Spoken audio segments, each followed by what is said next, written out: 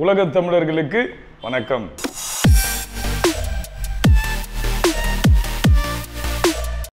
இன்னைக்கு நான் ஒரு திரைப்பிரபலத்தை பேட்டி எடுக்க போகிறேன் அவர் வேறு யாருமே இல்லை.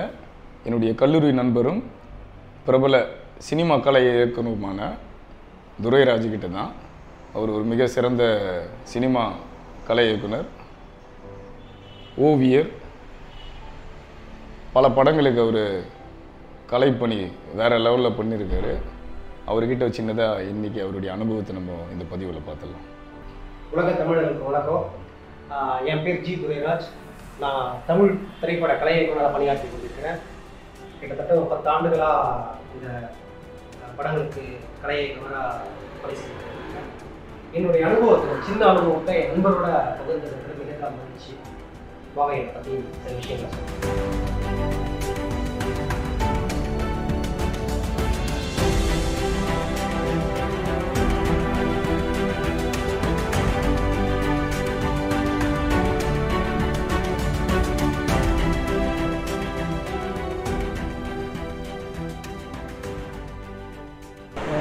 கடற்கரையை பார்க்கும்போது என்னுடைய கல்லூரி அனுபவங்கள் தான் ஞாபகம் வருது.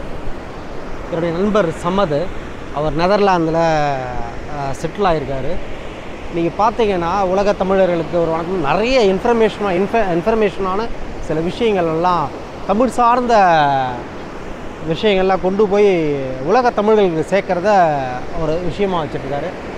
அது ரொம்ப பெருமையாக இருக்கும் எனக்கு. அவர் கூட படிச்சுன்றதே எனக்கு ரொம்ப மிகப்பெரிய பெருமைன்னு கூட சொல்லலாம். பார்த்தீங்கன்னா என்கிட்ட கிட்ட சொன்னார் என்னன்னா அவரை தாண்டி நான் ஒன்றுமே வளரலன்னு தான் சொல்லுவேன் நான்.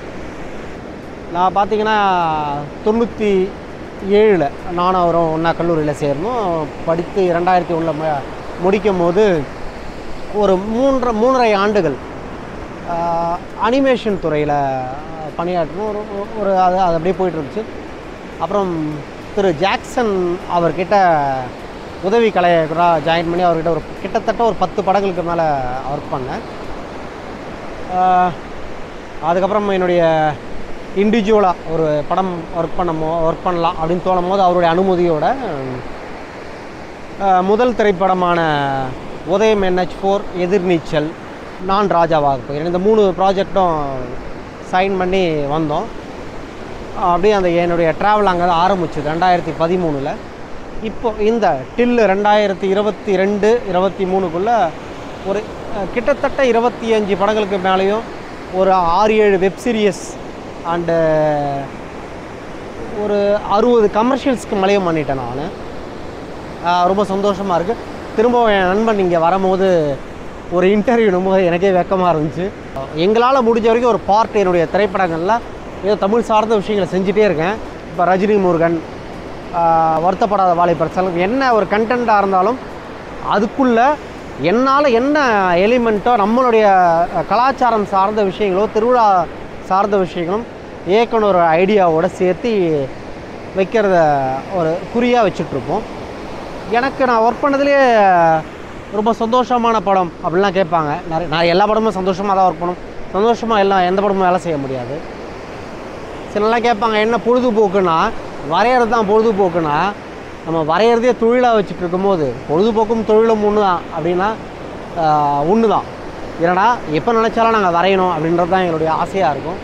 தமிழ் சார்ந்த சில விஷயங்களை ரிசர்ச் பண்ணணும் நாகர்கோவில் பக்கம் போகும்போது தான் எங்களுக்கு அடிமுறையை பற்றின விஷயங்கள் தெரிஞ்சுது.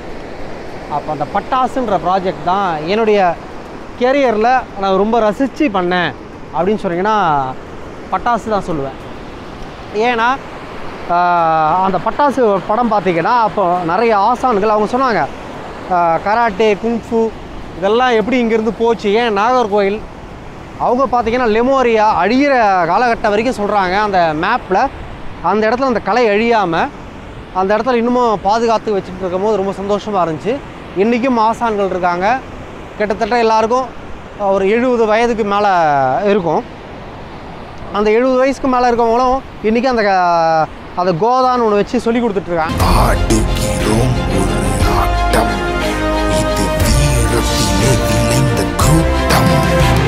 அப்போ தான் யோசிக்கும் போது பார்த்தா இவ்வளோ பெரிய கலையை அங்கேருந்து இங்கே தாண்டி வரல. அப்படின்னும் போது தான் டேரக்டர் துரை செந்தில் இதை நம்ம எப்படியாவது கொண்டு போய் சேர்க்கணும் அப்படின்ற ஒரு ஒரு ஈடுபாடில் தான் நிறைய படங்கள் கொடி எதிர்நீச்சலுடைய முதல் படம். அடுத்தது பார்த்தீங்கன்னா காக்கி சட்டை பண்ணார். சிவகார்த்திகேயனுடைய ரெண்டு படம் பண்ணார். பட்டாசில் வந்து இதை நம்ம எப்படியாவது காமிக்கணும் நம்ம கொண்டு போய் சேர்க்கணுன்னாரு அதை கண்டிப்பாக அவர் சேர்த்துட்டாருனாலே எனக்கு என்றைக்கும் எனக்கு ரொம்ப பிடிச்ச படம். நீ ஒர்க் பண்ணதில் எது ரொம்ப ரசித்து பண்ணால் பட்டாசு தான் சொல்லுவேன். அவ்வளோ ரசித்து பண்ண படம் தான் இது. கண்டிப்பாக ஒரு உங்களுக்கு ஒரு தகவலாக தான் இருக்கும். ஓ இந்த அடிமுறை வந்து நம்ம நம்மக்கிட்ட தான் போச்சா? அப்படின்றோம். கேரளாவில் வருமா? களரி இது எல்லாமே இதோடைய ஒரு பாடங்கள் தான் இது. அப்படின்றது தான். நான் ஒரு ஆர்ட் டைரக்டரை தாண்டி ஒரு ஃபைன் ஆர்ட்ஸ் படித்தேன் அவன் அப்படின்றத தாண்டி எனக்கு சொல்லணும்னு தோணுச்சு இந்த கலையை பற்றின விஷயங்கள் தான். அடிமுறைன்றது வந்து நம்முடைய தமிழர்களுடைய மிகப்பெரிய வீர விளையாட்டு. எல்லாரும் நினச்சிட்டு இருப்பாங்க சிலம்பம்ன்ற. அடிமுறையுடைய ஒரு பாடத்தில் ஆறு பாடங்கள் இருக்கிறதுல அது ஒன்று தான் சிலம்பம். அதுக்கப்புறம் சிரமம் இருக்குது மற்போர் இருக்குது ஆயுத பெருக்கம்னு இருக்குது வர்மம் இருக்குது மல்யுத்தம் இருக்குது இந்த மாதிரி நீங்கள் பார்த்தீங்கன்னா இந்த லாக் பண்ணுவாங்க. நீங்கள் பழைய படங்களில் பார்த்துருக்கலாம் எம்ஜிஆர் படங்கள்லாம். நான் சினிமா தா சார்ந்து விஷயங்கள் சொல்லணுன்றதுக்காக இது சொல்கிறேன் பார்த்தீங்கன்னா அது எல்லாமே லாக்கிங் சிஸ்டம் எம்ஜிஆர் போட்டு லாக் பண்ணுறது எல்லாம் கை தட்டுவாங்க இன்னும் இருக்கிற தலைமுறைக்கு அது தெரியாது. அதில் வந்து லாக்கில் வந்து நீங்கள் மீளவே முடியாது.